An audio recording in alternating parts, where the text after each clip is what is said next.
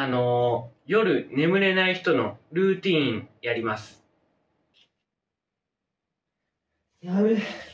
明日早く起きないといけない用事あるのに、全然眠れないわ。明日早く起きないといけない用事がある日に限って寝つきが悪い。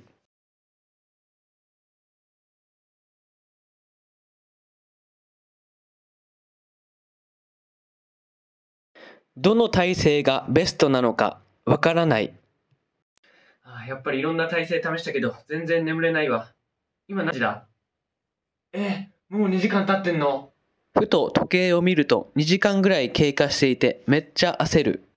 そういえば、学生時代、あんな恥ずかしいことをしていたのか。恥ずかしい。突然過去の恥ずかしい思い出を思い出しパニックになる。